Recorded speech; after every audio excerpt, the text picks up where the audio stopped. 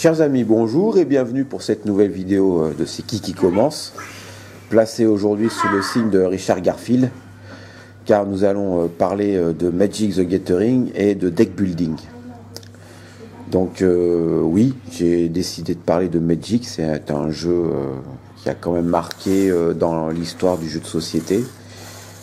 Il a fait euh, beaucoup euh, dans le sens euh, de faire venir du monde du jeu de rôle au jeu de société pour les, anciens rôlistes qui qui avaient plus trop le temps de jouer. C'était un bon moyen de se remettre à, jouer un petit peu. Et il a permis aussi de faire venir les gens qui jouent à Magic au jeu, à Magic au jeu de société. Et donc, il a amené pas mal de monde, quoi. Autant les enfants que les adultes. Tout le monde a beaucoup apprécié ce jeu. Donc euh, voilà, moi je vais vous parler un peu de comment ça s'est passé pour moi, Magic. J'ai commencé, j'étais euh, au lycée, j'étais euh, j'étais en quoi? J'étais en, première terminale, je crois, quelque chose comme ça. Et en fait, c'est le, petit frère de la copine d'un copain qui devait avoir dans les, je sais pas, 14 ans, qui nous a ramené ça un jour. Il dit, regardez ce que j'ai trouvé comme jeu, on m'en a parlé à l'école, c'est super. Il m'a montré les cartes. J'ai demandé où il avait acheté ça. Et du coup, bah, je suis tombé dedans. Et j'ai, amené tout le monde avec moi là-dedans. Tous, mes potes euh, se sont mis à jouer. Les copains à l'école, je les ai mis dedans aussi. Et ça fait qu'on jouait au fond de la classe euh, à, midi, euh, dans les cours de compta, tout ça. Boum, on se mettait au fond et on jouait à Magic. Donc voilà, tout ce qui me reste de l'époque, en fait, bah, c'était en 93-94, c'est ce vieux paquet. Il me reste un vieux paquet de l'époque.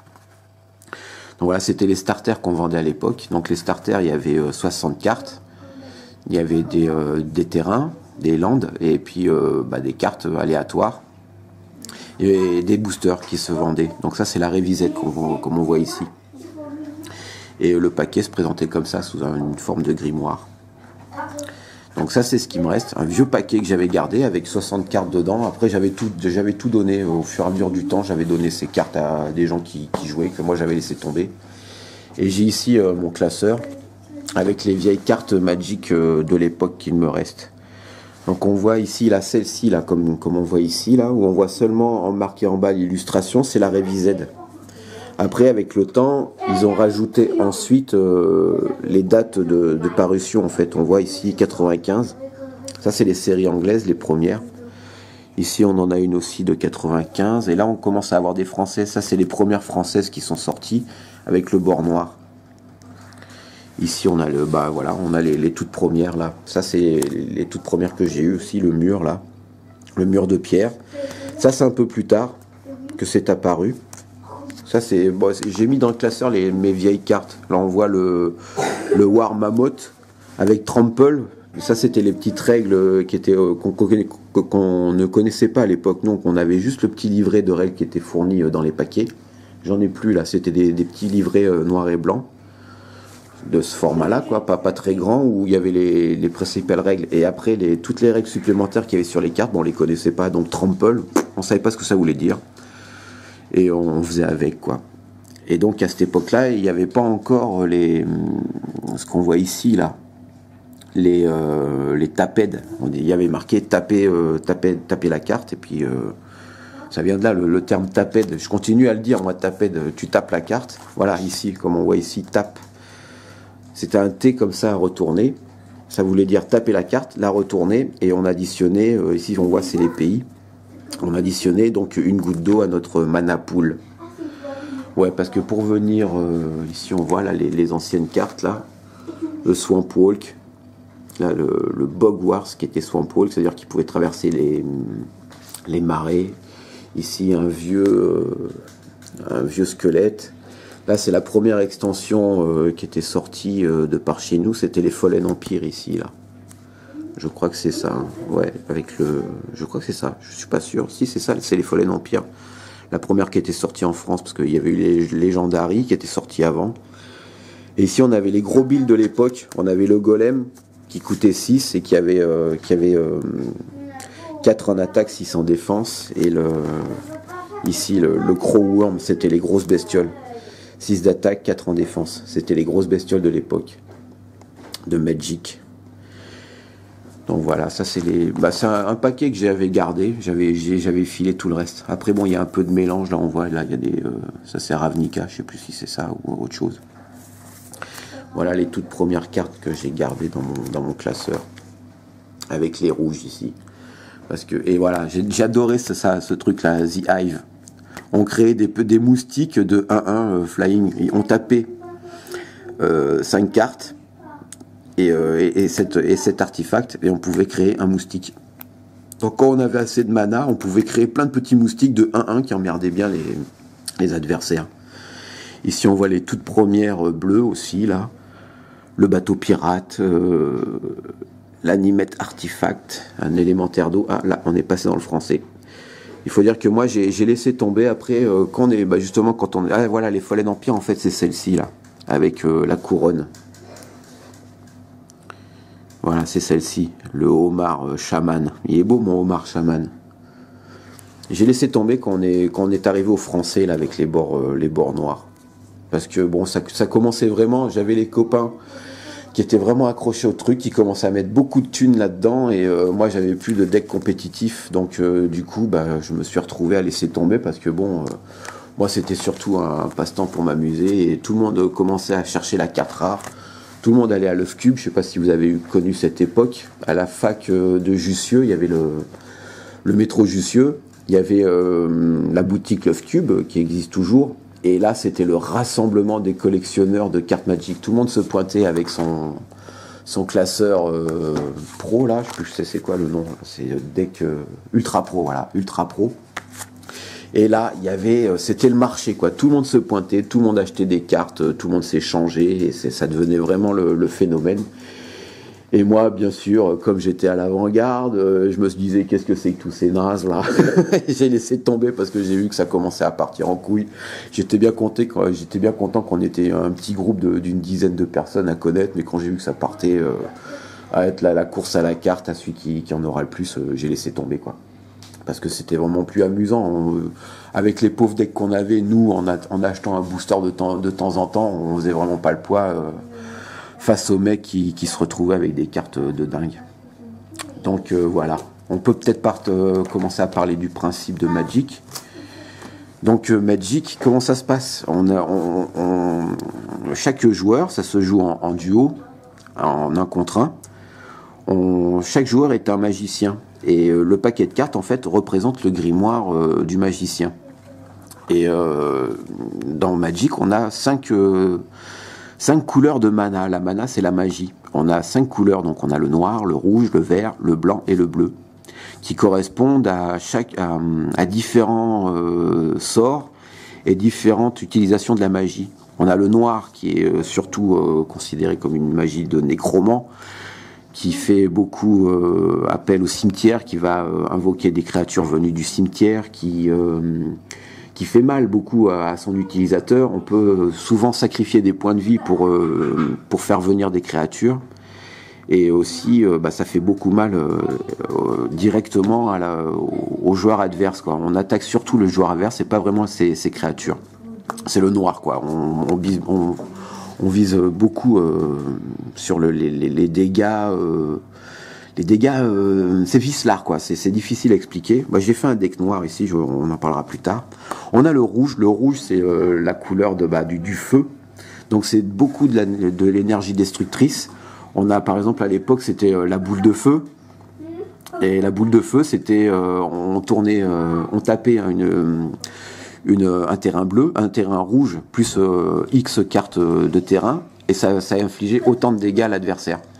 Donc voilà, si on avait 10 terrains devant nous, ben bim, on balançait 10 terrains, 10, 10 points de dégâts dans la vue de, l'autre. C'était vraiment la magie euh, rapide, un jeu, rapide et destructif et bien bourrin, quoi, le rouge. Ensuite, on a le vert, qui lui, bah, c'est plutôt la, magie du druide, c'est la magie, de la nature et des, créatures des grosses créatures, des, gros, des grosses bestioles bien bourrins. Donc euh, ça fait que c'est une magie qui demande beaucoup de terrain. Donc euh, c'est une magie qui est longue à se mettre en route. Qu'est-ce qu'il faut Il faut avoir le temps de, réunir assez de terrain devant soi pour pouvoir invoquer les, créatures qui vont bien. Mais il y a aussi les elfes. Moi c'est le deck que j'ai fait ici. On a les elfes qui permettent de, faire venir euh, des, des, terrains assez facilement, donc d'invoquer de grosses créatures assez facilement. Ensuite, on a la magie blanche, la magie des lopettes, bien sûr. Là, j'avais un pote qui, jouait ça et euh, Vraiment, quoi. Le blanc, c'est la, magie du soin qui se guérit, qui se protège. Euh, voilà, quoi. Et c'est vraiment pas la, on se, on se met vraiment pas en péril avec cette magie. C'est une magie qui, qui, roule pépère, quoi. C'est un, un, bon diesel. C'est un peu comme le, le, verre, mais euh, en plus euh, avec une, des cercles de protection qui fait qu'on. Bon, c'est chiant. Moi, le blanc, j'aime pas. Et ensuite, on a le bleu. Et le bleu, lui, c'est plutôt mind control. C'est, euh, c'est, comment dire? C'est une magie qui, oui, qui, qui, joue dans le contrôle. on va jouer sur les cartes de l'adversaire en fait. On va lui, on va lui engager des cartes, etc. On va l'empêcher de jouer beaucoup avec le, la magie bleue. Voilà, c'est une, énergie de contrôle. On va essayer de contrôler le deck de l'adversaire, le, neutraliser pour ensuite lui mettre des dégâts. Donc ça, c'est assez, c'est la, la magie la plus compliquée la bleue. C'est celle qui euh, qui demande le plus de, de, de réflexion quand on construit un deck bleu. Voilà. Donc ben voilà, moi j'avais commencé avec ça, donc j'avais quelques cartes ici. Euh, ben voilà, comme on voit là, la, tricherie mentale, c'est exactement le, le, le, genre de magie bleue euh, qu'on pouvait rencontrer. Changer le texte explicatif d'une carte, telle qu'elle soit en train d'être jouée ou déjà en jeu, en remplaçant une couleur par une autre. Voilà, donc vous voyez, le mec qui dit que par exemple toutes les, tous les terrains verts vont lui ajouter plus un plus un, bah nous avec cette carte là on arrive, on lui dit bah non en fait c'est pas les terrains verts, c'est les terrains rouges. Et comme le mec il a que du vert, bah voilà il se retrouve avec des cartes qui lui servent plus à rien. Voilà un peu le genre de, deck bleu. Donc moi Magic j'ai joué à un certain moment et puis j'ai laissé tomber jusqu'à ce que je retombe sur la PS3 sur le, jeu euh, Planeswalker. Il faut savoir que Magic a beaucoup évolué pendant que j'avais laissé tomber moi à l'époque de du Lotus Noir, etc. Euh, voilà, c'est justement à l'époque du Lotus Noir qu'on avait des cartes qui commençaient à coûter, à coûter 100 francs et tout, euh, on s'en sortait plus quoi. Moi j'ai laissé tomber. Et c'est en 2012, quand est sortie euh, l'édition des Planeswalker, que j'ai remis le nez dedans sur la PS3. Et, et franchement, j'ai été agrippé. Et du coup, en me baladant dans les, magasins de jouets à la grande récré, je suis tombé sur ces deux decks ici qu'on voit. Ravnica, la cité des guildes. Ravnica, faut savoir que c'est un... Ouais, je pourrais en parler après. Il y a différents thèmes dans Magic. Au début, Magic, c'était un, terme... ça se passait dans un royaume d'heroic fantasy, où il y avait des elfes, des ogres, des, des gobelins, des morts vivants, des vampires, etc mais plus ça a été, plus on s'est retrouvé avec des plans différents. Voilà, quand, quand Magic a évolué, on s'est retrouvé avec euh, un, multi, un multiverse, en fait, on pourrait dire. C'est-à-dire qu'on a euh, des, portes qui donnent sur différents mondes. Et dans ces différents mondes, il y a différents magiciens, comme elle ici, là qu'on voit, Liliana Weiss. Et euh, en français, je sais plus comment on les appelle, on. Ce sont des planeswalkers, c'est-à-dire des voilà planeswalkers, vous voyez c'est des magiciens qui traversent les plans et qui se baladent de, monde en monde. Et donc, euh, des mondes sont apparus, comme Ravnica, par exemple. Ravnica, en fait, c'est une grande cité dans laquelle il y a différentes guildes qui se, foutent, sur la gueule. On a les guildes bleues, les guildes blanches, bien sûr, les guildes noires, etc. Et euh, ces guildes ont différents, euh, différentes façons de, de, jouer, bien sûr. On voit ici qu'on a les Boros, voilà, ici la guilde des Boros, qui est, un, qui est une guilde qui utilise le rouge et le blanc. Et ici, on a les Isettes, Isettes qui est une guilde qui utilise le bleu et le rouge. Donc c'est des, inventeurs euh, qui, basent leur, euh, magie sur le, les inventions, un peu steampunk, quoi, et, le feu. Et donc je suis retombé dedans et j'ai acheté ces deux paquets. Et donc, euh, bien sûr, au fur et à mesure du temps, on s'est retrouvé avec des, decks à thème. Au début, on avait ces, decks-là où tout était mélangé. On avait du rouge, du blanc, du bleu, n'importe quoi. Et avec le temps, euh, Magic s'est mis à faire des... Euh, ah oui, je me souviens de, des S-Age. La série des S-Age, c'était justement un plan différent où c'était un, hiver perpétuel où on avait des...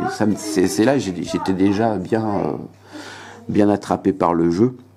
C'était qu'il y avait pas mal de, dinosaures, je crois, dans le Age. C'était un, plan dans lequel c'était l'hiver perpétuel qui, se passait toujours dans la neige, donc, euh, et, voilà.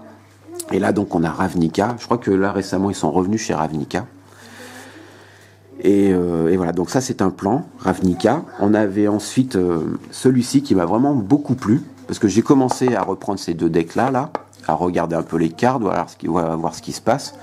Et je suis tombé sur le plan de Lorwyn. Lorwyn. Et ça, c'est vraiment le, contexte qui m'a beaucoup plu, parce qu'on est vraiment parti dans l'heroic fantasy, mais conte de fées, en fait. On est, en fait, Lorwyn, c'est un, plan dans lequel c'est un, été perpétuel. Il fait toujours beau.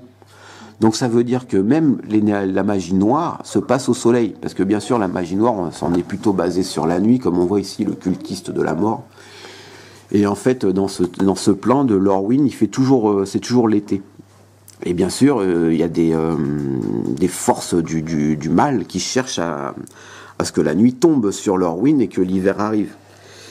Et il fait toujours jour, ouais. Donc, euh, voilà, c'est vraiment sympa. Et, ça, ça m'a fait vraiment plonger dedans. Et j'ai trouvé vraiment beaucoup de cartes de Lorwyn, comme on voit ici, là.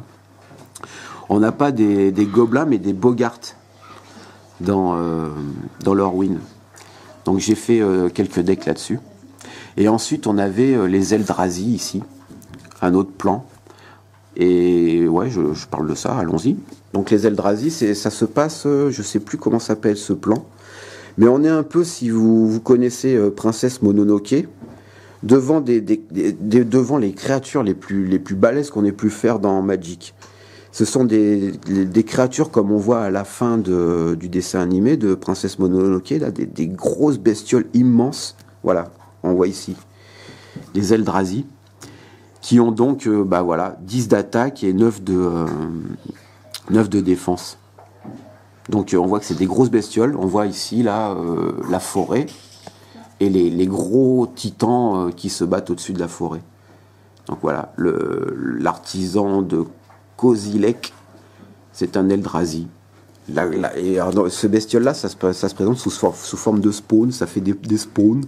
Donc euh, le, le, jeu est basé là-dessus, quoi, sur des spawns. On fait des petites bestioles qui grossissent et qui deviennent des, euh, des créatures immenses, quoi. Voilà.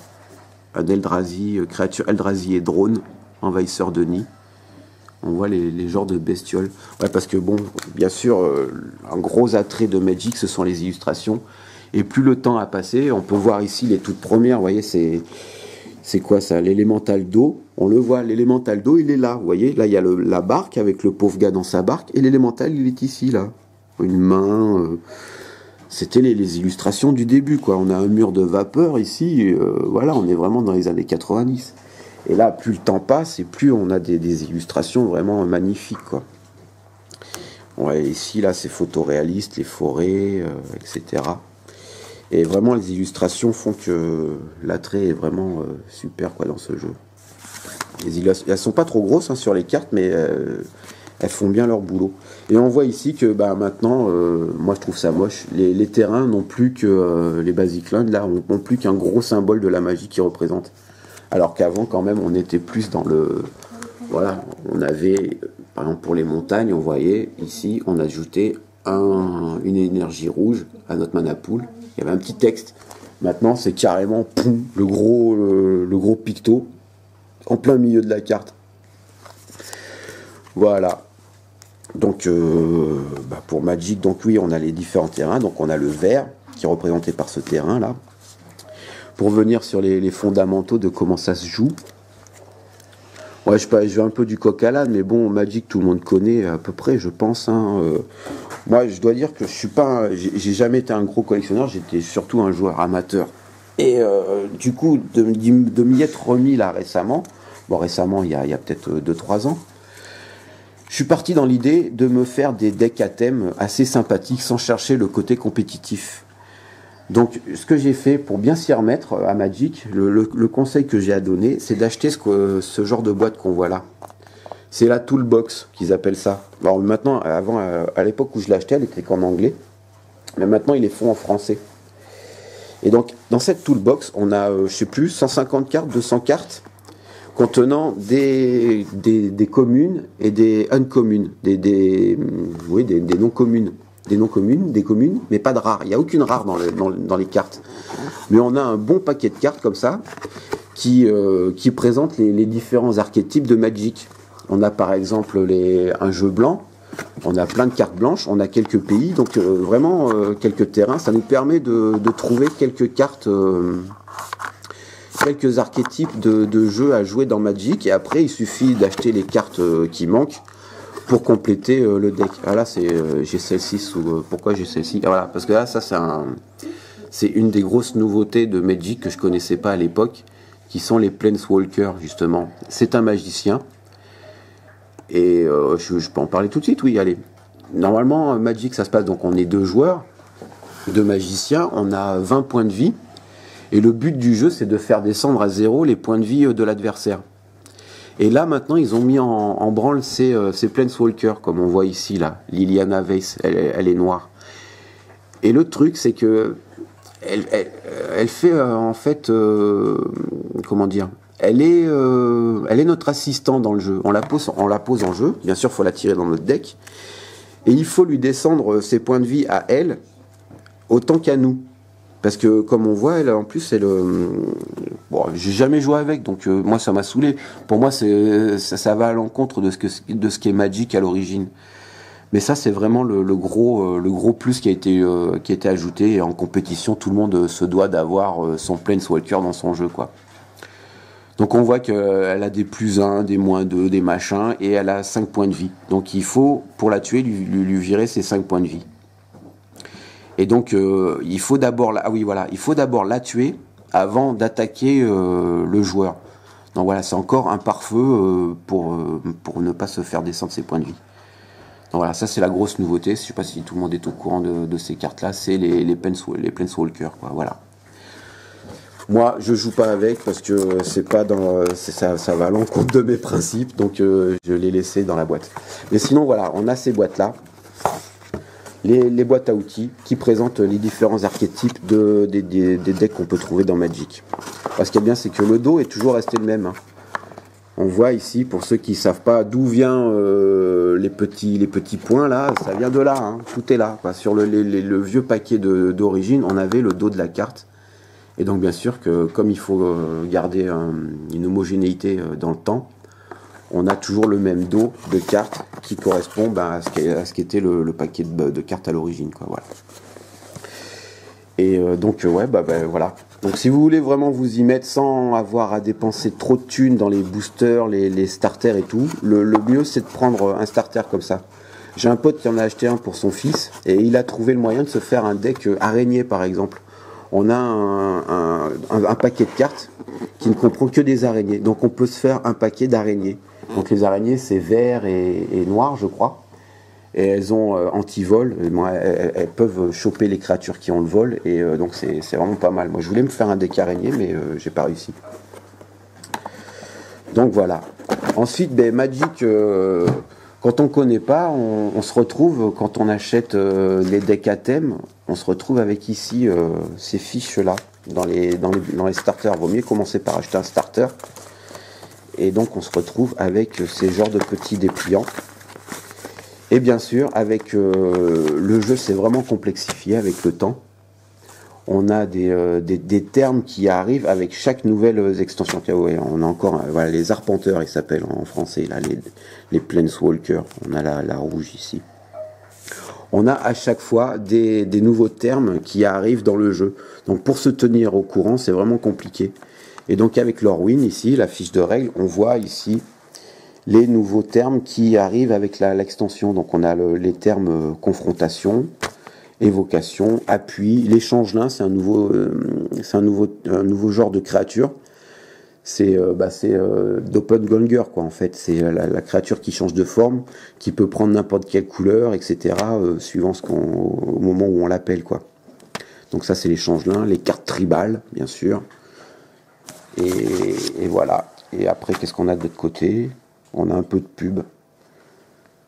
Avec euh, bah, retrouver des amis et des cartes premium, venez euh, jouer en compétition. Moi, j'ai jamais fait de compétition, toutes ces choses-là.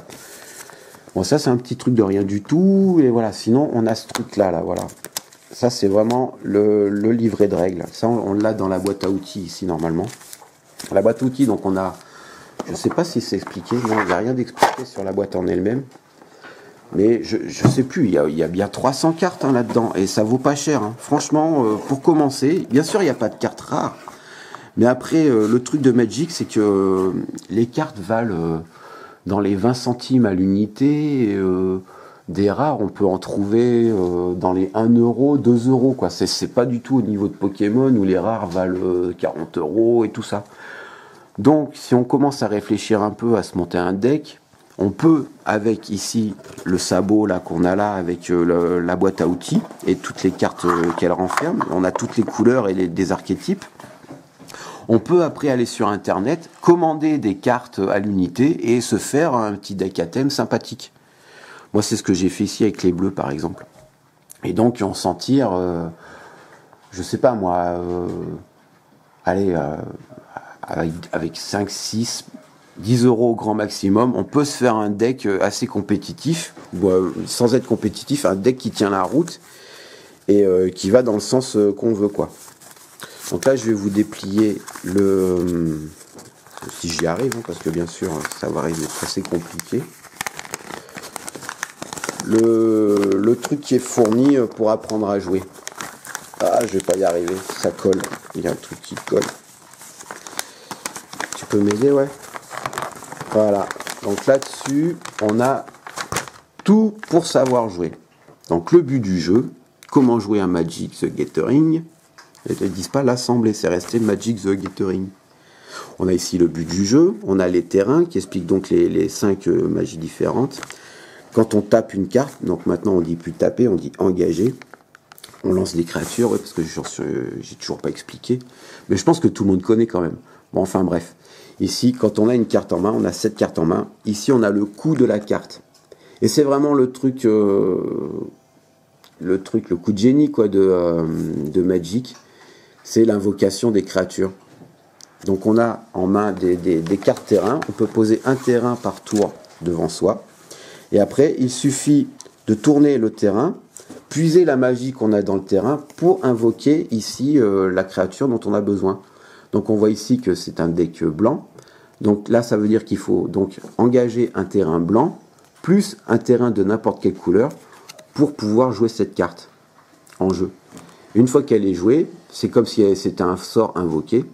Et donc on voit ici que c'est le, pacifisme, c'est la carte qui prend la tête à tout le monde. On enchante une créature, et la, créature en- enchantée ne peut ni attaquer ni bloquer. Donc le mec en face, il peut avoir une créature qui, a, qui a 10 de force, 10 de défense. On lui balance un petit pacifisme. Tu vois, si vous voyez le gars, tu vois. Si vous voyez bien, il est, complètement atrophié, le pauvre, et il peut plus rien faire. Pacifisme, et il peut plus se servir de sa créature. Donc le mec, il s'est pris la tête à invoquer sa créature, toi avec ton pacifisme, paf, tu lui poses dessus, il peut plus s'en servir. Ça fout la haine. Ça c'est du blanc, ça voilà, c'est le blanc, et il est comme ça le blanc. Donc ici, donc euh, on revient ici. Donc euh, voilà, par exemple, euh, quand on doit invoquer une créature ben, qui a marqué euh, 3 rouges plus 4, et on doit tourner 3 terrains rouges plus 4 autres cartes de n'importe quelle couleur, et on peut sortir sa créature. On a la mise en place avec les 20 points de vie par adversaire, etc. Les tours de jeu, le combat, les étapes de combat. Ça, c'est un Planeswalker, lui. Il est alors maintenant, ouais, parce qu'avec le temps, bien sûr, euh, moi, quand j'ai commencé, euh, les cartes, elles avaient qu'une seule couleur. Il y avait des cartes bleues, des cartes rouges, des cartes machin. Mais après sont arrivées, euh, voilà, là où j'avais déjà lâché les cartes légendaires. Et on voit ici une carte, par exemple, qui a deux couleurs. Ce mec-là, Marolt Esland Dragon. Lui, pour le jouer, il faut taper, donc engager une forêt, deux montagnes, plus trois autres euh, terrains de n'importe quelle couleur. Et on se retrouve avec un mec qui a rampage. Donc rampage, ça veut dire que il, il- quand il, a tapé sur les créatures, s'il a tué toutes les créatures qui étaient en face, les points qui restent euh, à, à dépenser, il les balance aux joueurs. Voilà. Donc euh, rampage 1. Et donc 6 en défense, 4 d'attaque. Voilà, donc on se retrouve avec des, des créatures qui ont, différentes couleurs. Et vraiment, après, la, dernière nouveauté qu'ils ont trouvée, ça a été les, euh. Quoi. Voilà. Ici, on voit la physionomie de la carte. Donc euh, ici, en haut, on a son nom, ce qu'il faut pour l'invoquer, la belle illustration, le coût en mana, le type ici. Bien sûr, le type, c'est important parce qu'il y a des cartes qui ont un rapport au type. On peut avoir un sort, par exemple, qui nous dit que tous nos dragons ont plus un, plus un. Donc après, on regarde les types de, créatures qu'on a sur le terrain et on rajoute plus un, plus un euh, à la créature. Et ici, les capacités. Donc lui, on voit qu'il a le vol. Donc euh, il peut être contré que par des créatures qui ont le vol en face. Et ici, on voit que dans les capacités, si on tape une, euh, on engage une montagne, comment il s'appelle lui?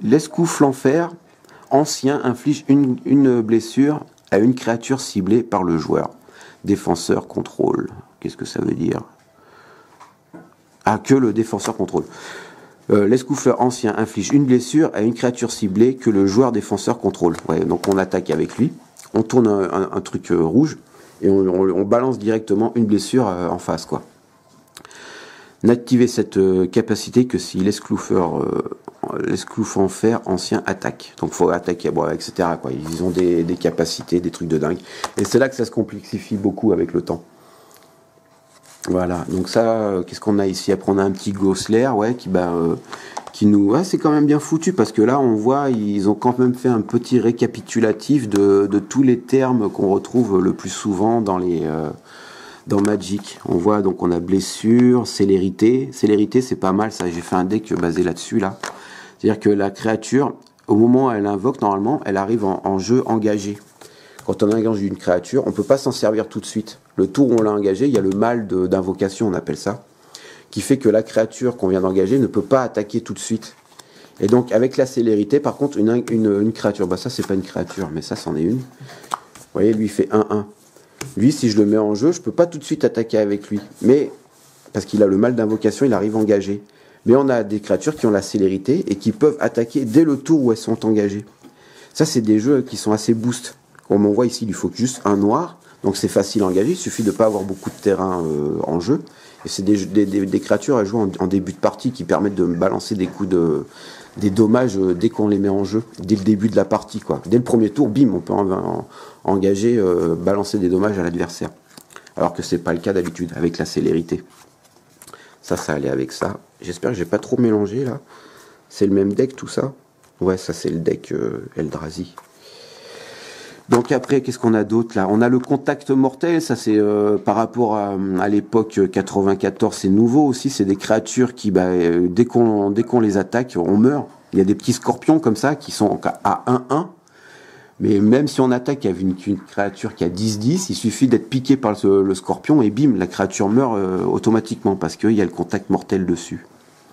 On contrecarrer un, un sort, contrôler, défausser, dégager, double initiative. C'est-à-dire que le mec, il attaque en premier.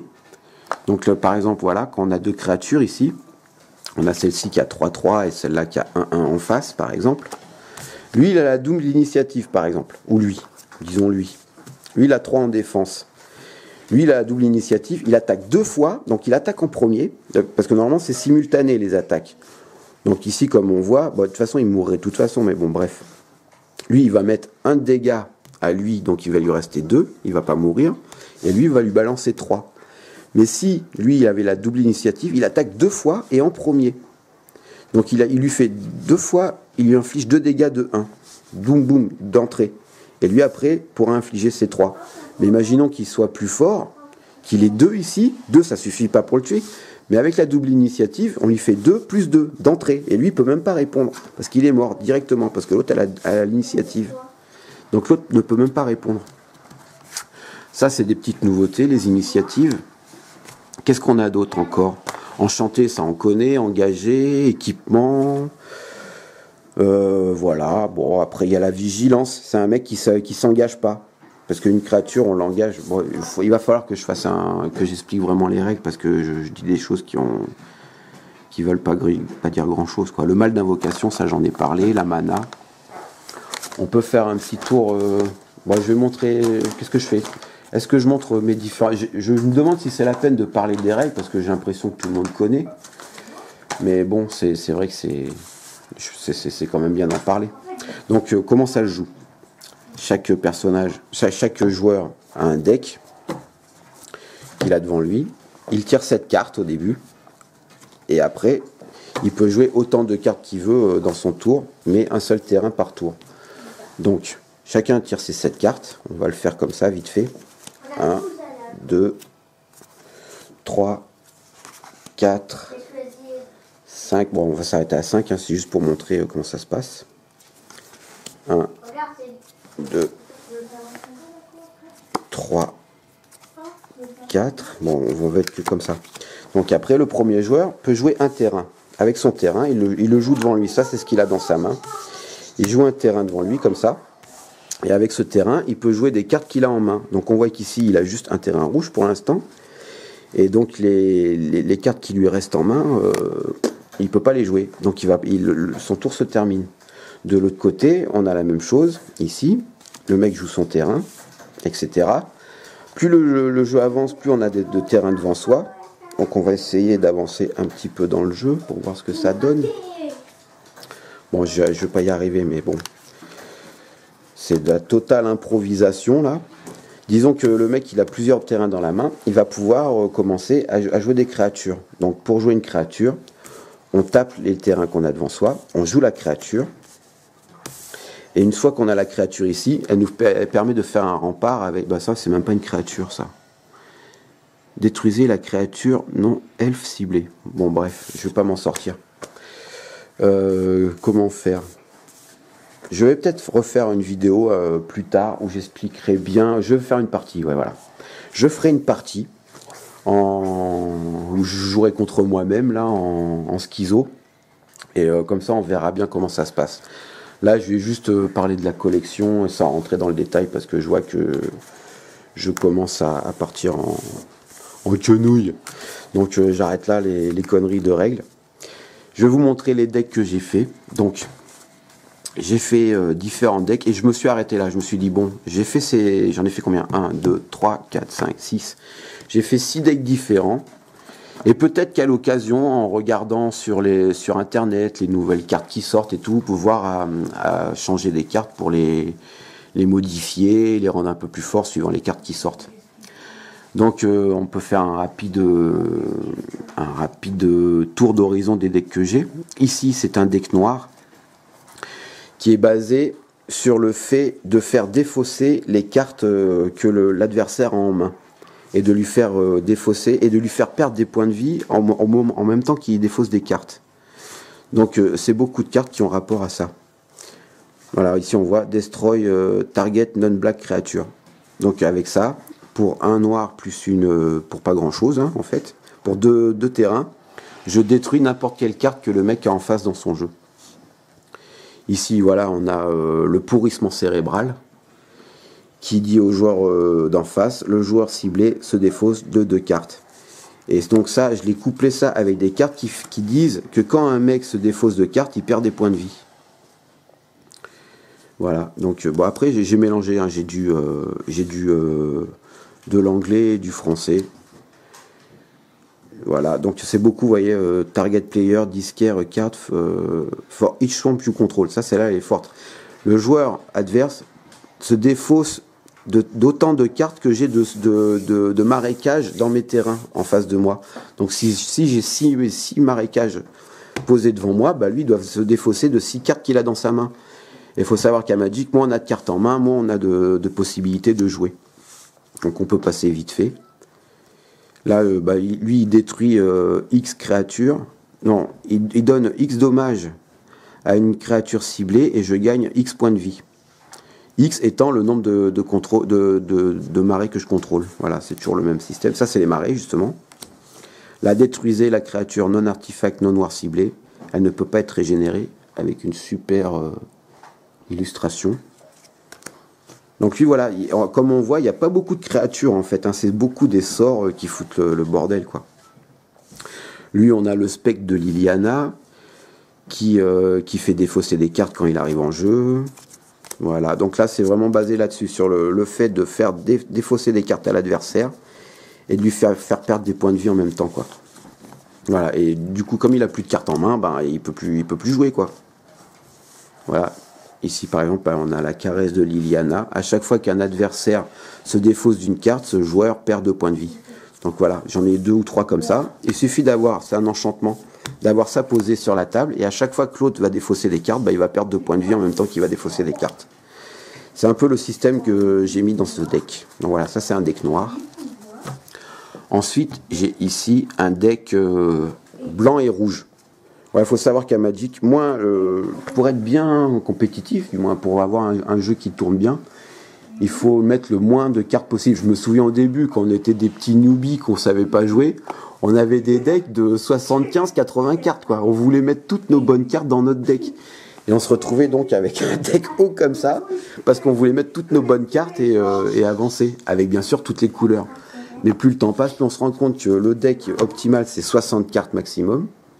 Et minimum, on peut pas mettre moins de 60 cartes de toute façon.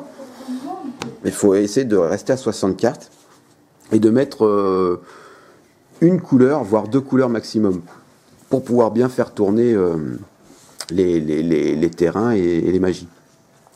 Ça, c'est un, mélange de Winnie White. Winnie White, c'est un genre de deck, c'est des petites créatures blanches qui n'ont pas beaucoup de, coups et qui, qui tapent pas fort, mais qui arrivent euh, assez rapidement. Parce que comme c'est des, petites créatures qui ne demandent pas cher, on se retrouve en pouvoir. Euh, il suffit d'avoir trois terrains et de, du coup de pouvoir mettre trois créatures de 1-1 sur le terrain.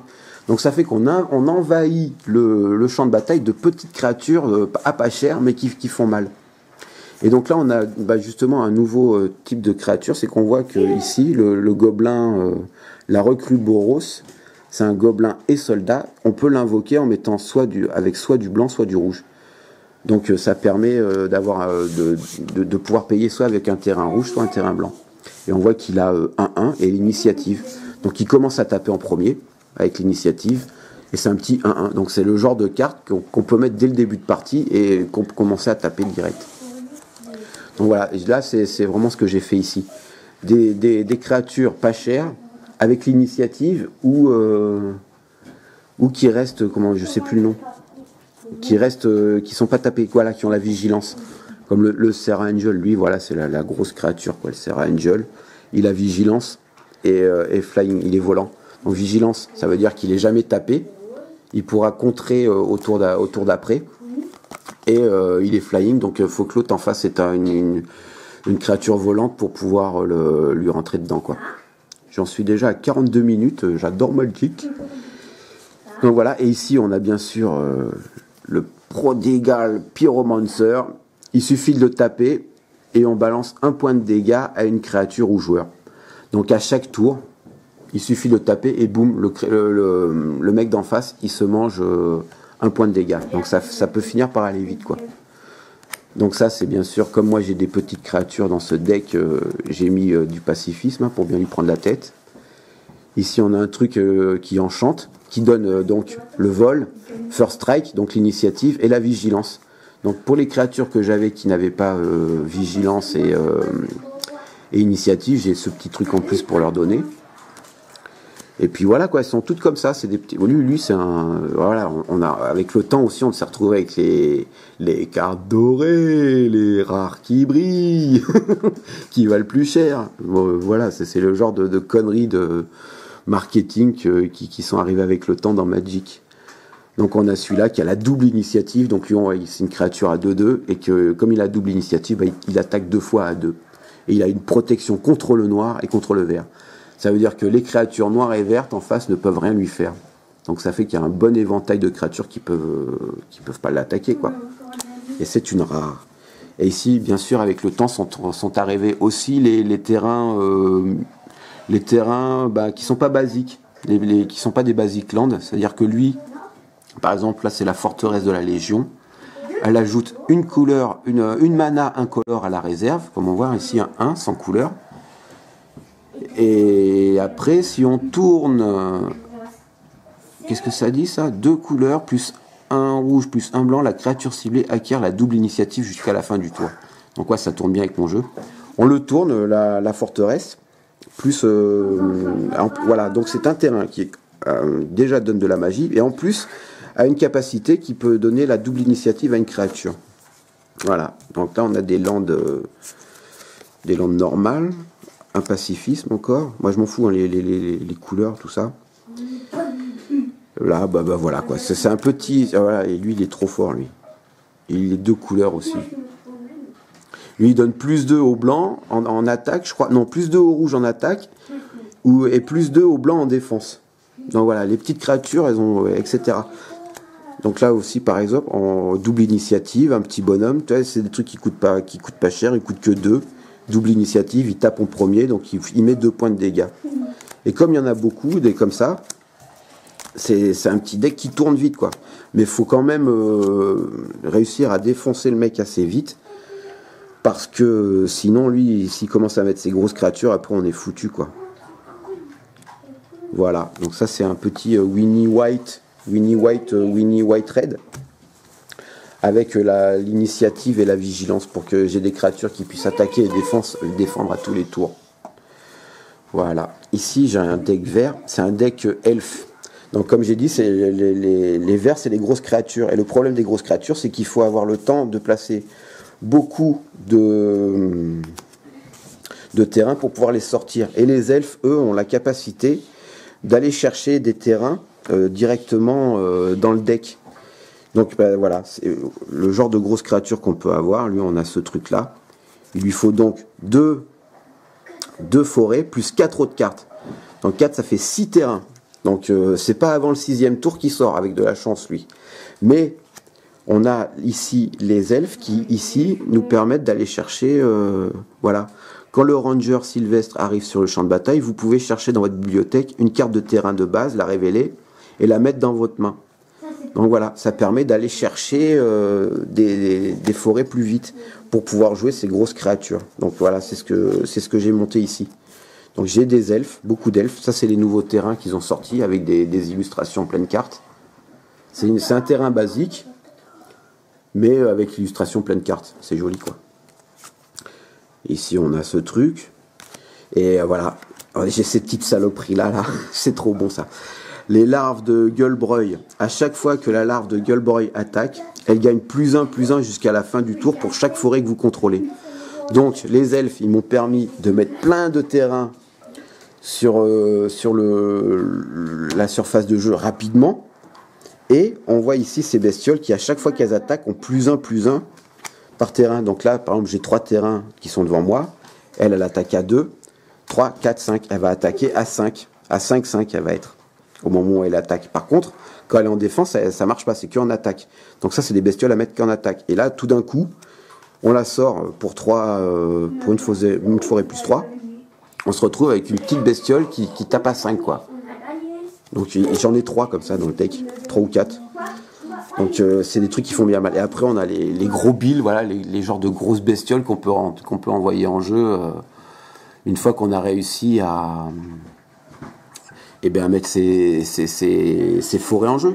Avec un bon deck elf, on peut avoir euh, facile 4 quatre, euh, quatre, forêts en jeu dès le 2 deux, deux, ou 3 tour. Donc euh, on peut jouer ça assez rapidement. Et là on voit que c'est un 7-7 pour 4 et 3 7. Pour cette, cette forêt, on balance cette grosse bestiole qui a trample. Oh. Et en plus, quand elle entre dans le, le terrain de jeu, on gagne 7 points de vie. Donc on voit que le jeu a vraiment évolué. Hein. parce que voilà la worm d'origine. Hein. Ça c'est la worm de départ, le crow worm. C'était la, grosse bestiole qui avait 6-4. C'est tout. Hein. Après ça c'est du flavor, c'est juste du petit texte pour, se mettre dans l'ambiance. C'est un 4 plus 2. Maintenant voilà ce qu'on a euh, à notre époque. On a la, 4 plus 3. Trample euh, qui donne 7 points de vie euh, et quand elle retourne dans le qu'est-ce que qu'elle dit? Quand elle est mise dans le, dans le cimetière du, terrain, du, du, battlefield, on, pioche une carte. Voilà. Quand du champ de bataille, elle est mise dans le, cimetière, on pioche une carte en plus. Donc euh, c'est vraiment tout bénef. Donc voilà, ça c'est mon deck euh, avec la, voilà, regardez, ça c'est sympa. C'est les cartes, euh, les nouvelles cartes qui brillent. Mais alors le problème, c'est qu'elles gondolent aussi. Donc quand on joue avec, la, avec ces cartes-là, on sait que ah bah tiens, la prochaine que je vais tirer, c'est mon petit elfe qui me permet de mettre un petit token 1-1 euh, euh, elfe vert en jeu. Voilà, donc ça c'était le deck elfe. Il est sympa, il tourne bien, je l'adore. c'est un de mes decks préférés avec celui que je vais vous montrer tout de suite après, qui est le deck euh, gobelin. Le deck gobelin, c'est vraiment les gobelins. Ce qui est bien, c'est qu'au moins dans Magic, on a gardé le. Comment dire Le trait de caractère des gobelins. C'est les bestioles qui attaquent en warg donc euh, à beaucoup, et qu'on n'hésite pas à sacrifier pour faire mal. Et on a par exemple ici la boule de chair, le fodder launch. Ici, on sacrifie un, gobelin, donc on en fait une grosse boule de merde qu'on envoie dans la tête de, de, l'adversaire. Et ce, la target créature, donc la créature ciblée, à moins 5, moins 5 jusqu'à la fin du tour. Et en plus, elle, elle, elle, donne 5 euh, points de dégâts au contrôleur de la créature. Donc euh, vous voyez le truc, le mec en face, il a par exemple euh, ça là, cette saloperie qui vole, je peux pas l'attaquer, mais j'ai ici un, j'ai ici un gobelin, voit, là le, gobelin de je sais pas quoi là, c'est un 3-2, mais c'est un gobelin. Je, joue cette, cette boule de chair, je fais une boule de chair de lui, donc je le sacrifie, je le mets au cimetière, bien sûr, je mets mon gobelin au cimetière, c'est de la chair à, bah, c'est de la chair à canon, comme c'est le cas de le dire. J'en fais donc une boule de chair qui met moins 5, moins 5 à cette bestiole-là, donc cette bestiole meurt. Et en plus, balance 5 points de dégâts dans la tête du contrôleur. Sachant que ça a 20 points de vie qu'on joue, je peux en mettre, euh, je sais plus, c'est 3 ou 4 dans mon jeu. Et eh ben je crois que j'en ai 3. 3 x 5, 15. Avec 3 boules de chair, j'ai déjà balancé 5 points, de, 5 points de dégâts dans la vue au gars. Sachant que les gobelins de base, bah, ça coûte rien. Voilà, un petit gobelin, ça coûte. Euh, ah, celui-là, il coûte un peu plus cher. Mais lui, c'est pareil, il est pas mal parce qu'il explose, lui. Euh, quand le porteur de, de torche euh, bouton est mis dans un cimetière depuis le jeu, il inflige 3 blessures à une cible, créature ou joueur. Donc euh, voilà, impeccable lui aussi. Il explose, on voit, hein. il explose et il balance 3 points de dégâts à une créature ou joueur. Donc c'est vraiment de la saloperie, les, gobelins. On a celui-là aussi, il est pas mal. Hein. Tuk Tuk l'Explorer. Il est bon parce que lui, on lui met des, tokens dessus et il nous fait sortir un gobelin, un, golem gobelin à 5-5. Un truc de ouf. Et qu'est-ce que j'ai d'autre? J'en ai des bons là-dedans, hein, je te le dis moi. On a celui-là, là. Mouchard de Tourte Queen. Ça, c'est des Lorwyn. Euh, qu'est-ce qu'il dit, lui euh... bon, J'y fais pas grand-chose, lui mais il est pas cher et puis on peut le sacrifier. Moi j'ai mis voilà encore voilà, euh, voilà. Lui il coûte 1. Euh, lui c'est carrément le, mec qu'on va sacrifier pour faire une boule de chair. Et il nous fait donc sacrifier un gobelin et lui il a plus 2 plus 2 jusqu'à la fin du tour. C'est que des histoires comme ça les gobelins. Voilà, lui pareil, il coûte pas cher, il a kick, kicker, ouais, ça c'est encore un nouveau truc. On kick le, au moment de jouer, on kick la, la carte, c'est-à-dire que normalement elle coûte 1 rouge plus 2. Si on rajoute un rouge plus 1, et B, quand il entre en jeu, il inflige 2 dégâts à la créature ciblée. Voilà. Mais on n'est pas obligé de le faire. Soit on le, joue pour, euh, pour ce qu'il est, soit on le kick et il balance 2 dégâts à la créature ciblée. Encore un truc en plus qui a été rajouté. Ici, on a la manigance euh, des Bogarts. Euh, vous voyez, ces enfoirés qui sont en train d'aller piquer. Il a son maillet derrière, là, qui va, il va nous défoncer petits, les petits poussins dans le nid. À chaque fois qu'un autre gobelin que vous contrôlez est mis, dans, le cimetière depuis le jeu, vous pouvez faire que la manigance Bogart inflige une blessure au joueur ciblé. Donc je sais pas si vous voyez le truc. Je sacrifie un gobelin pour faire une, euh, une boule de chair pour infliger 5 points. Et en plus avec ce truc là, je lui balance un point de plus dans la tête. Il y a des combos de ouf. Lui, c'est lui, il est trop fort parce que bien sûr, au, bout d'un moment, on n'a pas arrêté de, euh, de sacrifier des bestioles. Et lui, il nous permet d'aller chercher euh, dans la bibliothèque. Donc la bibliothèque, c'est notre deck. La carte qu'on veut, on la révèle, on la mélange. Euh, c'est ça, hein Arrive en jeu, vous pouvez chercher dans la bibliothèque une carte de gobelin, la révéler, puis la mélanger dans votre bibliothèque et mettre cette carte au-dessus d'elle. Donc quand on a besoin d'une boule de chair, par exemple, quand elles n'arrivent pas dans la map, on va la chercher directement. Parce que la boule de chair, c'est bien sûr une carte gobelin. Ou qu'on a besoin de ça. Voilà. Celui-là aussi, il est, très fort, je l'adore. Ah, si, on a, la, folle tantine. Qu'est-ce qu'elle dit la folle tantine? On régénère le, gobelin ciblé. Voilà, donc euh, je le sacrifie, mais je le régénère, donc euh, je pourrais encore le resacrifier un peu plus tard. Impeccable. Et après, bien sûr, euh, les cartes exceptionnelles qui sont là depuis le début. Lighting Bolt, 3 points de dommage à la créature ou joueur. Donc là, c'est vraiment le deck, faut, que ça, faut que ça défonce tout de suite, quoi des boules de feu, des lightning bolts. Je sais pas si j'ai des. J'en ai des boules de feu, j'ai les boules de chair, j'ai des lightning bolts. J'ai vraiment tout. Ah, voilà, il y a la... elle, elle est trop forte aussi. le rite de naissance Bogart. Tout ça, c'est des Lorwyn. Renvoyez une carte gobelin ciblée depuis votre cimetière dans votre main. Voilà. j'ai sacrifié un gobelin, j'en ai besoin, je le reprends dans ma main, je le ressortirai, je le resacrifie, etc. Ça tourne bien. Et qu'est-ce qu'on a? On en a encore un autre là. Le festin de pied-fond. Mettez n'importe quel nombre de cartes de créatures ciblées de votre cimetière au-dessus de votre bibliothèque et piochez une carte. Voilà, histoire de, faire euh, revivre euh, les créatures du cimetière. Ça aussi, c'est, elle est sympa, mais c'est surtout parce qu'elle est crado. Comme on voit là, les cheveux de la bestiole, en fait, c'est que des pustules, des araignées, des trucs dégueulasses. Voilà, Bogart à perruque d'araignée. Ça, c'est tout ça, c'est l'Orwin. Vous voyez, c'est c'est c'est de la fantaisie euh, humoristique, conte de fées, trop fort. Voilà, donc euh, bon, je vais pas finir le tour. Si, il y, a le gobelin euh, Arnaud 6, qu'est-ce qu'il fait lui? Quand un gobelin, quand il est mis dans le cimetière, bah, on inflige un point de dégâts, voilà. Mon, petit deck gobelin rouge noir qui, tape fort, quoi. Je l'adore. Ensuite, euh, bon, on aura vite fait, on a vu ici le, deck Eldrazi tout à l'heure. Donc ça, bah, c'est basé sur les, grosses bestioles euh, à la princesse Mononoke. Faudrait que j'en faudrait que j'en trouve un qui soit parce que elles sont jolies quand même. Je sais plus de comment s'appelle la, série. Voilà, on a des ça, ça fait penser à Alien un peu. C'est des bestioles, euh, c'est des bestioles vraiment cheloues. Voilà, ça je on l'a déjà vu. Il y a ce truc là aussi. Ça, ça fait penser un peu à Silent Hill, je trouve. Vous savez, le, mec là qui a un triangle sur la tête, là, euh, c'est chelou, quoi. Hein. C'est des horreurs indicibles aussi, ça. On est un peu dans le Lovecraft aussi là-dedans. Mais j'arrive pas à trouver les grosses bêtes que j'ai là qui font super mal. Elles sont où ces sales bestioles? Ah bah alors. Ah voilà, en voilà un là. Lui coûte neuf, voilà, il coûte cher. Mais par contre, le truc c'est qu'on peut mettre à la place de, mettre un terrain pour, payer les neufs, on peut mettre des spawns. les petits spawns, j'ai fait ce qu'il faut là-dedans pour, euh, pour pouvoir avoir beaucoup de spawns sur la table.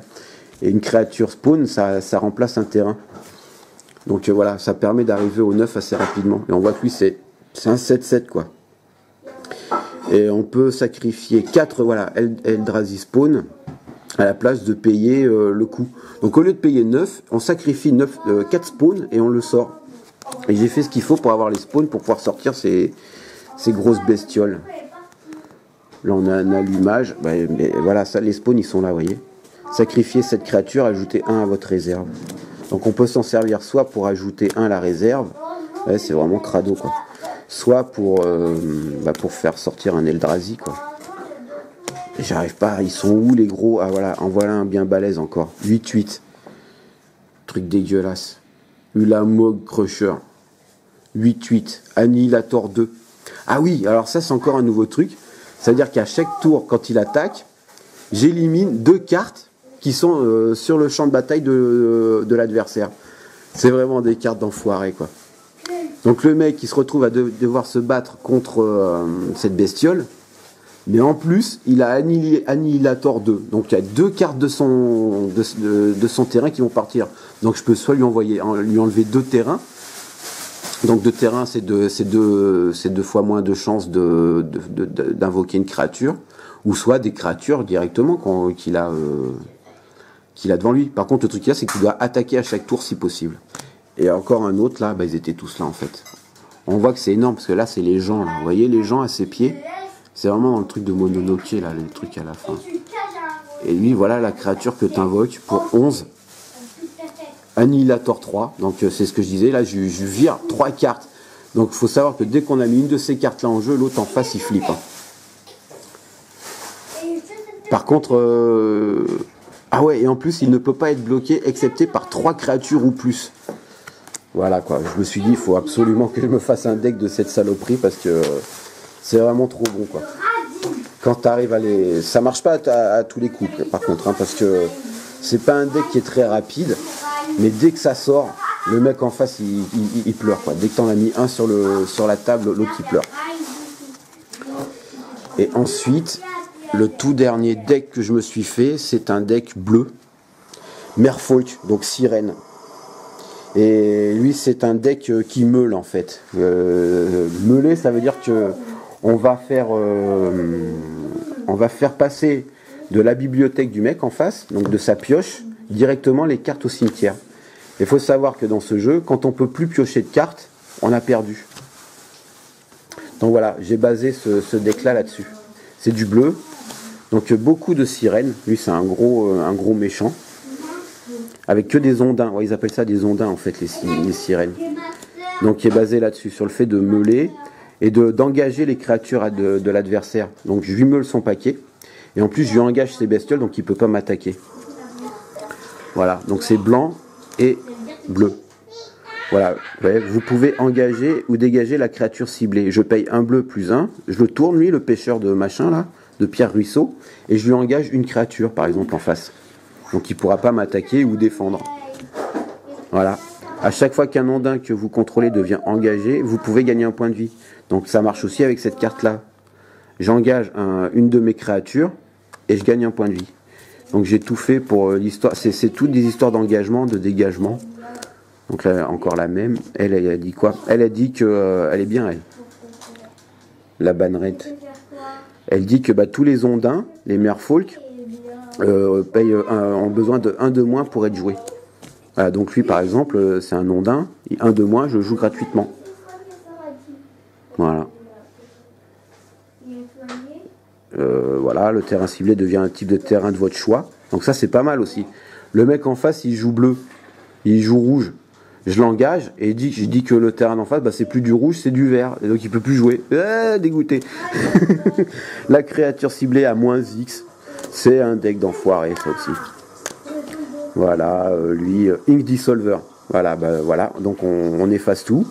Au début de votre euh, phase de redressement, vous pouvez regarder le, début, le, dessus, la carte du dessus de votre, de votre bibliothèque. Si c'est une créature euh, si c'est une créature, attends, if it share creature type with ink dissolver, vous pouvez le révéler. J'ai pas compris. Ah ouais, donc si c'est un merfolk, on peut le révéler. Si vous le faites, chaque opposant prend les trois premières cartes de sa librairie et la met dans le cimetière. Ouais, voilà, donc ça c'est pour meuler. Si j'ai euh, un, ondin euh, au-dessus de mon paquet, donc euh, comme j'ai que des ondins, bah, ça va être assez facile. Lui va prendre les trois premières cartes de sa librairie, de sa bibliothèque et la foutre dans, dans son cimetière. Donc là je l'ai plusieurs fois, bien sûr. Oh, je l'ai plein de fois. Et après, bah, c'est des terrains, des terrains d'enfoirés. Vous dégagez tous les terrains que vous, tous les ondins que vous contrôlez. Voilà. Donc un deck ondin, euh, contrôle, meule, et euh, voilà. Et donc j'ai fait le tour de tous les, decks euh, que j'ai de Magic. Donc voilà. Après, je pourrais peut-être faire une partie donc en, en, schizo la prochaine fois pour vous montrer un peu ce que ça donne en jeu. Peut-être le mon deck gobelin que j'aime bien avec en fait, ce que j'aime bien, c'est ces deux-là, quoi. Elf et, et Gobelin. Voilà, donc moi je me suis résolu à, avoir ces paquets-là. Ils sont bien, je trouve que je les ai bien optimisés. Et de jouer avec, parce qu'après ça sert à rien. De, j'ai un pote, c'est un ouf. Hein. Il en achète tout le temps, il, me gagne tout le temps, mais c'est pas grave, moi je joue pour jouer. Et, euh, lui il fait des decks et tout, il, a tout mis sur son. Euh, sur sa tablette, il a des, des, des, listes de decks pas possibles et, euh, on a arrêté de jouer un petit peu aussi parce qu'à chaque fois on se voit pour faire une partie de jeu de société, on sort Magic et on fait que ça de l'après-midi. Donc euh, on arrête un petit peu. Euh, voilà. On peut peut-être finir, allez, parce que le deck building, j'en ai, fait un j'en ai fait d'autres. Et moi j'ai fait euh, donc bien sûr il y a eu toute une époque où il y a eu Jihad, il y a eu Rage, c'était un jeu de de loup-garou, il y a eu euh, Guardians, je crois que ça s'appelait. Ouais, Guardians, c'était un jeu qui avait été basé sur les illustrations et pas sur la mécanique. Je crois que c'était ça, c'était Guardians. Donc euh, un jeu super beau mais injouable. Qu'est-ce qu'il y a eu? Il y a eu, euh, il y a eu Lormouir. Non, qu'est-ce que je dis là? Je sais plus, hein, je sais plus le titre. Il y a eu en France Intervention Divine qu'on a, on a joué un petit peu, on a fait quelques decks un jeu de croc. Bah, à l'époque, je savais pas quand je l'avais acheté. Maintenant, quand on voit sur Trick Track, etc., on voit croc. Je me dis merde, j'avais joué Intervention Divine à l'époque. C'est rigolo parce que là, c'était vraiment, c'était l'enfer contre, contre le paradis. Et on se retrouvait à jouer des skins, des CRS, des, C'était à Paris ça jouait. On jouait dans le métro, les cartes du métro. On, se tapait dessus avec des CRS, donc des skins, des concierges, des mecs qui allaient. voilà, c'était c'était la, la, vie de tous les jours, quoi. Il y a eu Doom Trooper aussi qui était pas mal. Mais il suffisait d'avoir à la caille le rusé, comme certaines personnes connaissent. C'était celui que tu avais dit avant. C'était euh, Intervention divine, je disais. Et là, on a donc euh, la petite série euh, World of Mickey. Et là, on joue des magiciens. C'était joli, j'ai bien aimé les illustrations. Un jour, je vais m'y mettre avec mon fils quand ça va l'intéresser. On joue des magiciens, on doit contrôler, on doit tuer l'adversaire, quoi. J'en ai quelques-unes, j'en ai pas trop. Donc ça c'est euh, World of Mickey, c'est assez récent ça. Voilà, j'ai ça. Mais des jeux de l'époque, j'ai rien gardé. Hein. Avec les déménagements et tout, bah, j'ai tout perdu. Quoi. il me reste, euh, me reste plus rien de l'époque, à part ce, pauvre paquet là. Donc ça c'est du, Mickey, World of Mickey. Wizard, non c'est Wizard of Mickey. Ça s'écrit euh, WOM. Hein voilà. Qu'est-ce que j'ai d'autre encore? Donc ça c'est toujours Mickey. Ah là, il y a du Dragon Ball qui arrive. Ça, c'est. Moi, j'étais fan de Dragon Ball. Donc, j'ai voulu euh, me mettre là-dedans. C'était surtout pour la collection, en fin de compte, parce que euh, le jeu est vraiment pas sympa à jouer, quoi. Mais par contre, on a tous les personnages avec les évolutions. On voit ici euh, Freezer avec ses différentes évolutions. Si c'est lui, ça. Première transformation. Là, quand il ressemble à un alien, Là, c'est euh, plein gaz, et là, c'est euh, la, la, transformation ultime de Freezer. On a Vegeta, là, voilà, la première forme de Freezer qui est là. Les, Sabia, les Saibanman, la, la, la, confrérie de la Voie lactée, là, je sais pas quoi, comment ils s'appellent déjà, eux. Non, lui, c'en est pas un. Ils sont là, la Voie lactée. Non, c'est pas eux, c'est lui, là. Ou lui, je sais plus. Non, voilà. Il y a du, euh, Dragon Ball. Ça va de Dragon Ball à Dragon Ball Z. Je crois qu'il y a même après ils ont fait du GT, du, truc de ouf quoi. Moi j'ai lu les mangas, j'ai lu surtout euh, la période de Sangoku, Dragon Ball quand il est petit quoi. Et j'ai laissé tomber après euh, au moment où, bah, où Trunks arrive quoi. Au moment de, où il, se barre sur, sur Namek là, j'ai lâché l'affaire. Ça m'a saoulé. Sinon, voilà, j'en ai plein des Dragon Ball. Voilà, on voit tout le monde, Dundee, Krillin, euh, Tenchin Han, Trunks là-haut. Là, euh, le sergent métallique qui va rappeler euh, un certain Terminator. Il y, quand même, il y avait quand même. Voilà, le truc, c'est qu'au début de Dragon Ball, il y avait beaucoup de clins d'œil, il y a beaucoup de choses. Qui après, il y avait beaucoup d'humour. Quand l'autre, il a les sept boules de cristal, il demande une petite culotte, quoi, le truc de ouf. Et maintenant, c'est après, c'est devenu vraiment les trucs avec sel, voilà, les, super stremons, c'est plus rigolo. Euh. on a perdu tout l'humour et euh, ils m'ont perdu aussi, du coup. Voilà, bah, ça continue. Là, euh, mamie voyante, le maître des grues, etc. Ici, regardez là. J'ai l'impression qu'il s'est inspiré de, l'acteur qui joue dans Le Bon, la Brute et le Truand. Et vraiment, il a le même caractère hein, dans le dans le, dessin animé pour Monsieur Satan.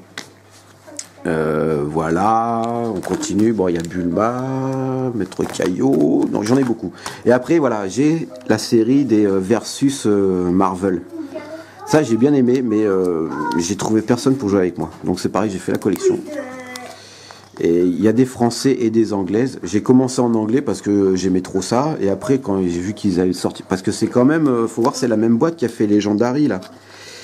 Et euh, voilà, Upper Deck. Et je crois qu'ils en ont fait une nouvelle version là, euh, avec un nouveau design de carte. Et euh, il, paraît qu'ils allaient jamais le sortir en français. Donc moi j'avais commencé à l'acheter en anglais.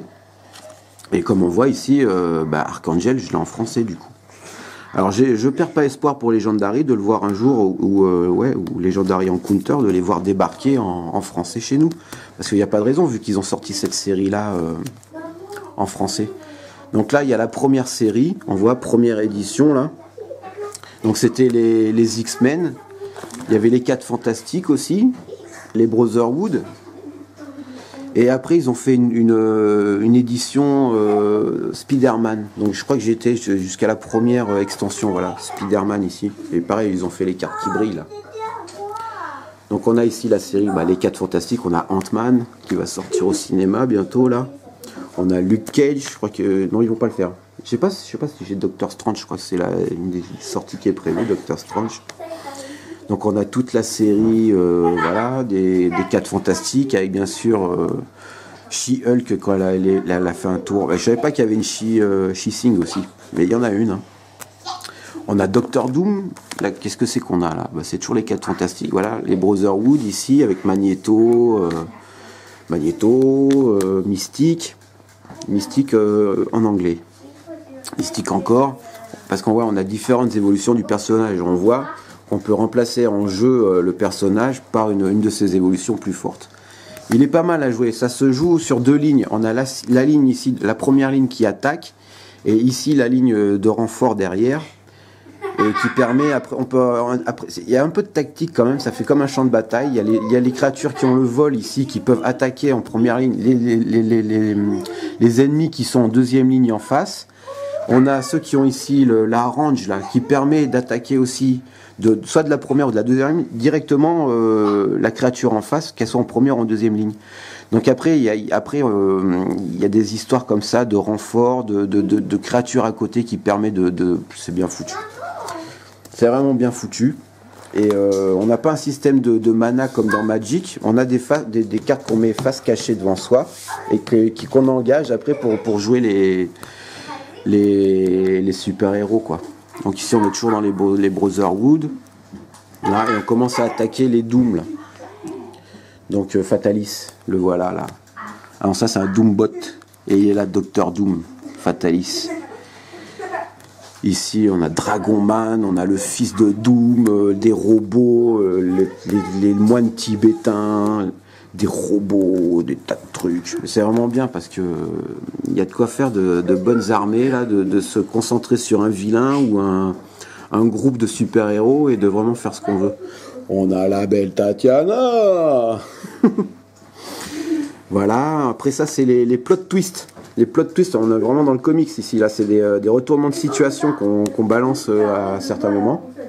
Et ici, on passe dans les, les sentinelles, donc euh, les, ennemis humains des, hum, des, des, des, mutants avec les sentinelles. Donc, on a les différents styles de sentinelles.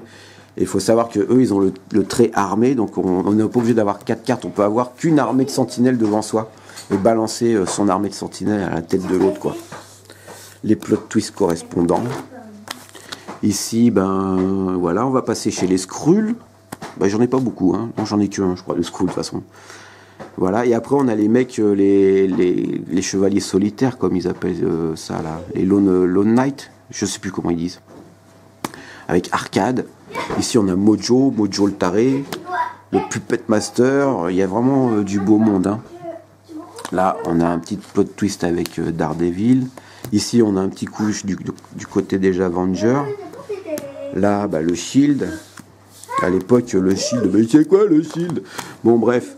Euh, voilà, les deux ennemis jurés qui font euh, front commun. Ici, le Punisher. Lui, il est pas mal aussi, là. Je sais plus son nom. C'est, c'est- je sais plus, mais elle est cool son histoire, lui. Hulk. Ici, on a Iron Fist. Mais ça, tout ça, c'est des plot twists.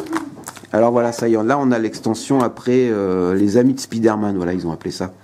Donc là on se retrouve avec toutes les chevaliers solitaires. Avec Black Cat, Daredevil, Pro, Prowler, je sais pas qui c'est lui, Punisher, Solo, il y en a que je connais pas. hein. Voilà, il y a différents Spider-Man, là c'est Nova. Je croyais que c'était Sentry, mais c'est Nova. Docteur Octopus, hein, là a- on voit un revirement, ils ont appelé ça les plot twists là. Coup du destin, on a le, lézard, Kraven, le gobelin, Electro, Venom, Rhino, le vautour, ça c'est des lieux, c'est un truc euh, à part. Euh, J'en ai beaucoup. Euh, là, je prends le temps parce que j'aime bien. Ici, on a Tante May qui a fait une belle tarte, une belle tarte Spider-Man. Ici, comment il s'appelle Merde, j'ai plus son nom. Je sais plus. Je sais plus. Dagger, je sais pas qui c'est. Dusk, Ezekiel, Iceman, etc. Là, il commence à être joli là. Ça, c'est Spider Girl. Spider Woman. Un cocher. Donc, euh, ouais, même pour la collection, elles, sont sympas quand même, parce qu'il y en a vraiment des jolis. hein. Boomerang, le, super-héros vilain qui, a des boomerangs. Euh, Lui, il fait peur, Boomerang. hein. Ils ont été forts des fois, hein, Marvel. Hobgoblin, Hydroman, hein, bon, etc., etc. J'en ai toute une chier, donc euh, il y a de quoi faire des paquets. Et euh, va falloir que, je mette quelqu'un à jouer avec moi parce que ça, ça va plus du tout là. Et après les Simpsons. Les Simpsons, c'est euh, le truc, c'est qu'on se retrouve devant à faire une, série télé avec des- des emplacements, comme on voit ici, et il faut mettre les bons personnages qui correspondent à l'emplacement. Et le, but du jeu, c'est d'arrêter. On voit par exemple euh, ici, dans la, aux arcades, là, il faut mettre soit des, des, enfants ou des idiots. Et si on met autre chose que des, des enfants ou des idiots comme personnages, on pourrit la, on trash, voyez, on pourrit la scène et on gagne 4 points. Si on la complète en mettant un idiot et un kid, on gagne 5 points. Le but, c'est d'arriver à un certain nombre de points en- en plaçant ces personnages. Et tous les personnages, on les a ici. Donc on avait des decks de départ. Voilà, moi j'avais acheté le deck Homer, le deck Lisa, et on avait donc les, personnages avec des traits ici. On a Apu qui est euh, un standing, Kurd et Oddball. Oddball, je crois que c'est abruti. On a Barney qui est fat, lazy, slumbering et idiot. Donc après, ces bonhommes, il suffit de les mettre aux bons endroits, dans les, dans les, bonnes, euh, dans les bonnes scènes. Pour, euh, voilà, par exemple, il faut un, un mec, un, mec euh, un feignant idiot chez Mo, et on a gagné. Et par contre, on peut aussi euh, mettre des mecs qui puent. Des mecs qui ont, pas, qui ont rien à voir, on peut mettre des enfants et on trash la scène. Parce que bien sûr, on met des enfants ou n'importe qui d'autre que des idiots ou des machins, et on, voilà. C'est le but du jeu. Donc euh, bah, là aussi c'est sympa pour la collecte parce qu'on a on a Bartman, on a euh, Blinky là le, le, poisson à trois yeux. Elles sont en anglais aussi. Je, je crois pas que ce soit sorti en français. Donc j'en ai pas mal. hein. J'ai pas mal de personnages. Le mec des, des comiques. On a le, le professeur Hibert, euh, voilà Nick Riviera, le, sosie d'Homer, Jasper, Jill. Gilles, c'est le, vendeur qui est, qui est- con. Duffman. Voyez, ici, au moins, on n'est plus en censuré Duff.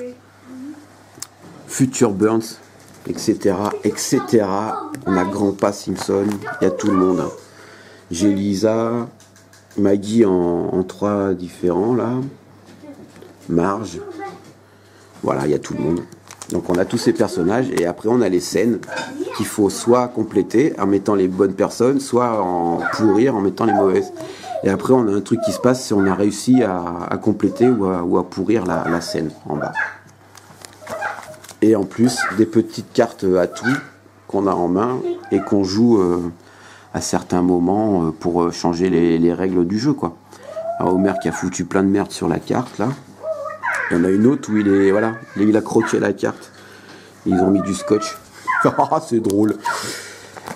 Et voilà, Krusty qui a signé là, qui a mis son autographe.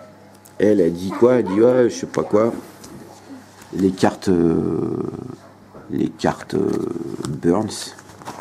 Et là après, pour bah, après c'est tout pour les decks. Et là, qu'est-ce qui me reste dans mon, dans mon truc là? Il me reste euh, les cartes de Bernie Wrightson. Allez, je vous fais le tour quand même. On en est à 1h18.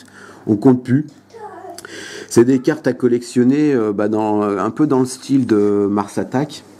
Donc ici on a la liste de cartes. On a acheté ça en booster, pareil, et ben, il fallait collectionner. Et ça c'est Bernie Wrightson. Donc euh, un style que, j'adore quoi. Dans le macabre, c'est le mec qui se place là quoi. C'est le mec qui a illustré beaucoup de choses pour Stephen King, à savoir euh, l'année du loup-garou. Il a fait les illustrations, il a fait les illustrations de- du fléau. Il a fait les illustrations aussi de, de Creepshow. La bande dessinée, c'est de lui. Et après, pour le cinéma, il a fait, euh, malheureusement, il a fait le, costume du, euh, du gobelin dans, dans Spider-Man. Et oui, c'est lui. Et il a fait il a fait, il a fait les gargouilles dans Ghostbusters. Oui, c'est lui qui a fait les gargouilles. Voilà. Je fais un petit tour histoire de voir un peu les œuvres de Bernie Wrightson. qui a, consulté d'urgence. hein. C'est lui qui est l'origine de Swamp Thing.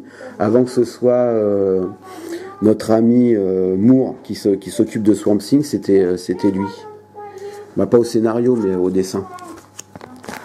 Il a fait un Spider-Man, il a fait un Batman versus Alien aussi, j'ai en deux volumes.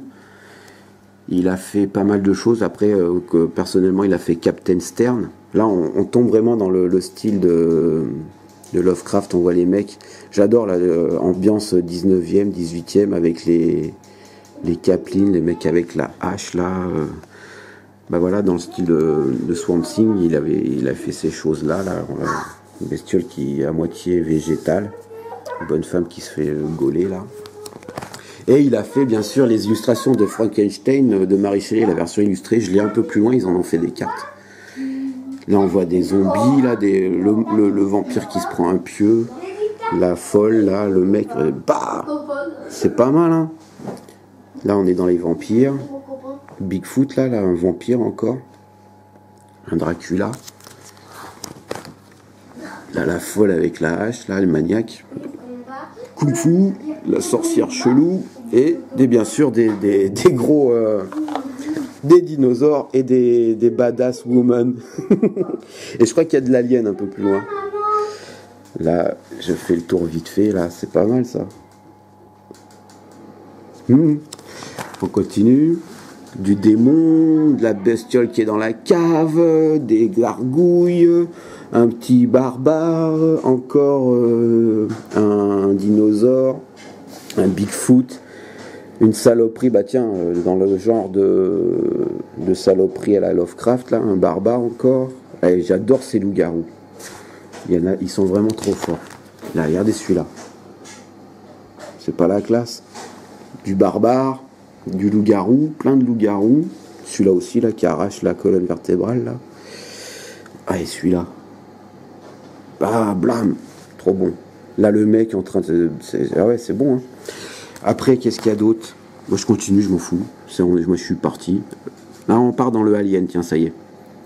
Là, dégueulasse. Là, voilà. Ah, dégueulasse. Et alors là, voilà, l'alien euh, parfait, là. Là, des bestioles qui sortent de la mer, là. Les pauvres pêcheurs, ils savent pas ce qui les attend. On continue Et au dos, on a une petite description de la carte en disant Ouais, bah là-dessus, j'ai utilisé du feutre, euh, et puis là, j'avais envie de faire comme ci, comme ça. euh, ça, c'est pour tel BD, ça, c'est tel truc. Ici, là, euh, la murène qui course, une belle sirène. Encore des bestioles, là, le, le mec qui se fait bouffer par la grosse bébête. Un alien ici. Qu'est-ce qu'on a là Des bestioles aussi qui sortent de l'eau. Là, euh, l'enfant sauvage. Là, du zombie. Du zombie ou du, fou, hein on sait pas trop là des fois. Là, pareil, des bestioles venues de la mer. Qu'est-ce qu'on a Euh, Voilà. Ah, celle-là, je l'adore.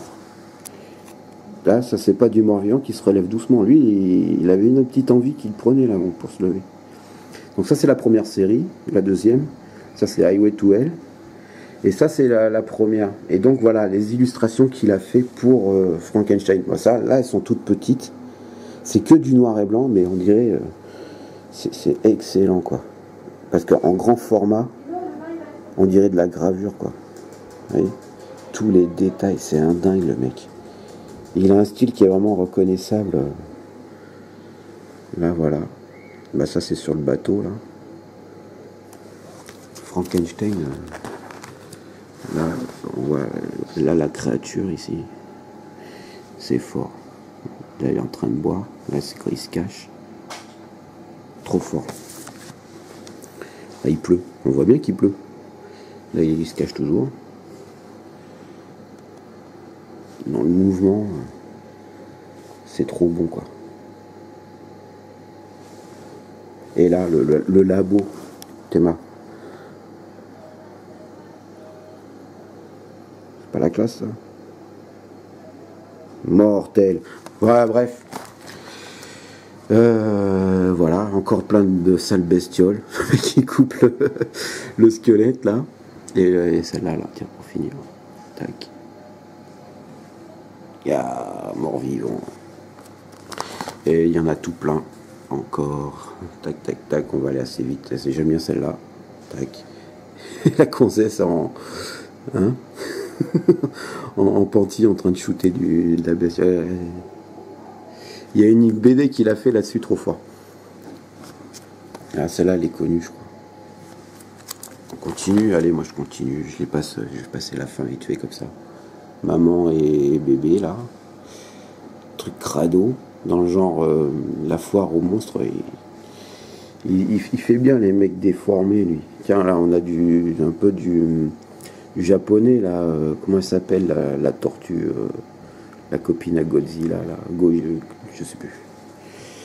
Voilà, tac. Là, le mec qui te bouffe, là, a un autre truc crado. Et on arrive au bout. Un loup-garou, lui là, qui se fait choper par des sangsues géantes, dans le style euh, que j'aime bien. Et le, cinglé, le maniaque avec sa hache. Et voilà. Bon, bah, j'ai fait le tour. Ça, c'est les règles de, Marvel machin là. Je les ai gardées, donc je pourrais m'en servir. Et voilà, donc on en est à 1h26. Fin du film. This is the end. Et voilà. Ben, je sais pas s'ils avaient été jusqu'au bout. La fin, c'est vraiment histoire. c'est moi qui avais envie de, vous montrer un peu tout ça. L'important, c'était de voir Magic. Donc euh, après, je vais faire une partie la prochaine fois.